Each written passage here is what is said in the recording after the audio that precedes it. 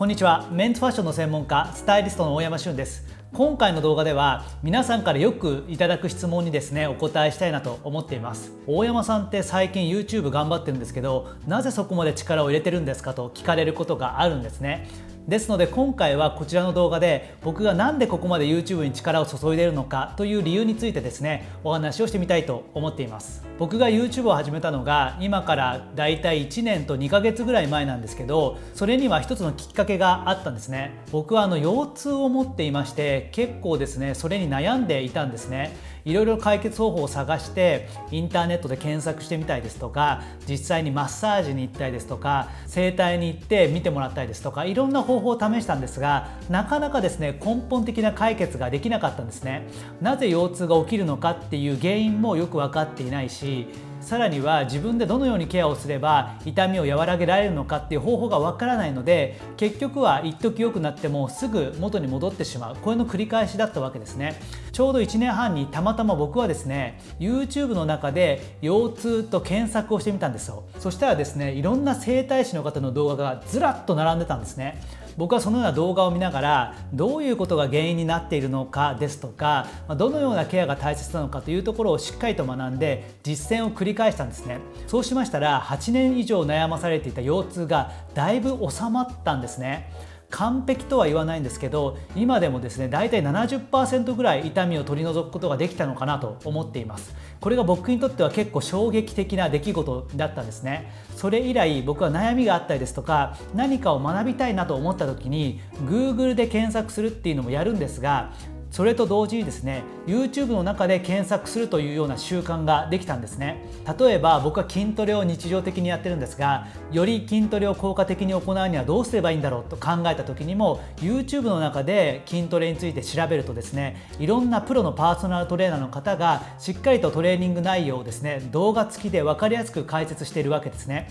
あとは僕は今こうやって毎日動画を撮っていますが動画編集の方法なんかもやはり本を読んだりだとかブログを読んだりりするのも確かにいいんですがなかなか分かりづらいんですよ。それが YouTube で検索するとちゃんと動画で分かりやすく解説してあるのでこちらの方が断然ですね習得度が高いんですね、まあ、こういった流れを受けて、まあ、これからの時代はいろんな悩みですとか学びを Google で検索する時代から YouTube の中で検索する時代にどんどん移り変わっていくんだろうなっていうのをすごく強く感じたんですね。じゃあ僕が専門としてるファッションっていうジャンルは YouTube の中にどんなコンテンツがあるのかなというのをその時に検索索をしてみたんですねそしたらいろんな方が YouTube の中でファッションの情報をお届けしているんですがただですねやはり多いのが10代ですとか20代の方向けのコンテンツが圧倒的に多いんですね、まあ、YouTube というのはそもそも見てる方が10代20代の方が多いのでそれは自然なことなのかなと思うんですが僕たち30代40代の世代が見て参考になるものですとかあとはファッションが苦手な方が初歩的なことを学べるようなコンテンツっていうのが意外となかったんですね。ですので僕はまあファッションの専門家としてこれまでブログですとか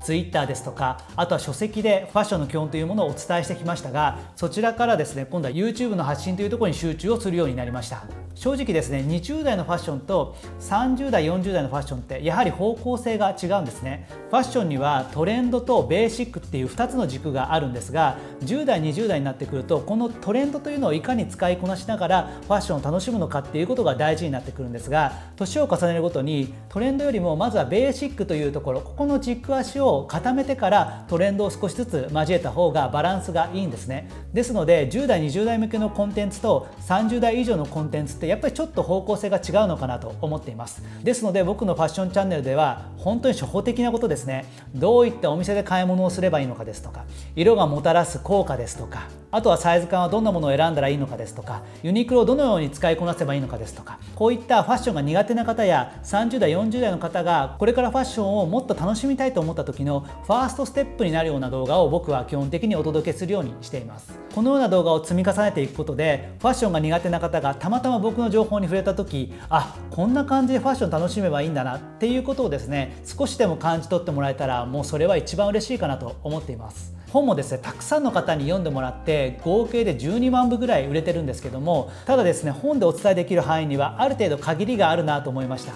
もっと多くの方にファッションの基本っていうのをラフに学んでいただきたい。そのためには書籍ですとかブログですとかツイッターという情報もいいんですがやはり動画という動きのあるコンテンツの方がさらに届けやすいかなと思うんですね。YouTube であればもっと気軽に見ていただけると思いますし旬な情報っていうのもどんどん出せるかなと思いますのでこれからも僕は YouTube というものを使ってもっともっとファッションの楽しさというものをお伝えしていきたいなと思っています。なぜ僕がファッションの初級者向けに情報を出し続けるのかというと世の中の多くのファッションの情報だとかファッションブランドとかお店っていうのはファッション中級者以外の方を対象としているんですね。ある程度おしゃれを楽しんでる人じゃないと理解できないものの方が圧倒的に多いんですね、まあ、割合で言うと2対8ぐらいだと思います。ファッションが苦手な方向けの情報とかお店はやはり2割程度であまり多くないんですね。まあ、世の中にはいろんなファッションブランドだとかお店があるんですがそういったお店というのはごくごく限られたおしゃれが好きな人たちのパイを取り合ってる状況かなと思うんですね。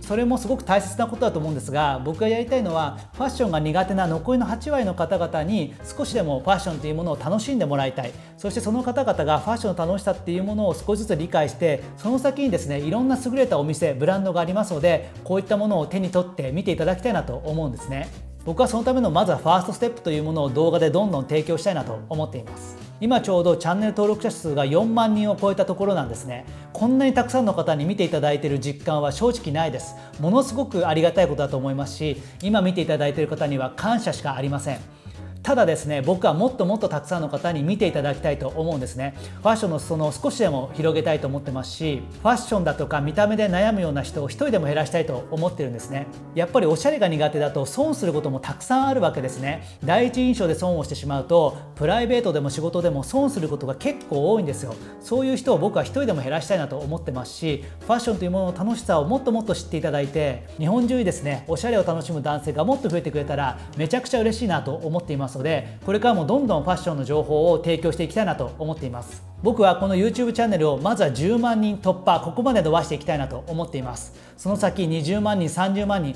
本当に多くの方にですねファッションの基本を届けたいなと思っていますのでぜひ皆さんも身近にですねおしゃれに悩むような男性がいたら僕のチャンネルお勧めしていただきたいなと思っています。ぜひ皆さんのご協力を得ながらですねもっともっとこのチャンネルを育てていきたいと思ってますしチャンネルが大きくなることでもっといろんな面白いコンテンツがお届けできるかなと思いますのでぜひ皆さんこれからも僕の YouTube チャンネル応援していただければなと思ってっています。結構今回の動画は熱くなってしまったんですがたまにはこういう動画もいいかなと思っています。次回からもまたファッションの具体的なノウハウどんどんお伝えしていきますのでこれからもお楽しみいただければなと思っています。以上スタイリストの大山俊でした。よかったらチャンネル登録の方もよろしくお願いします。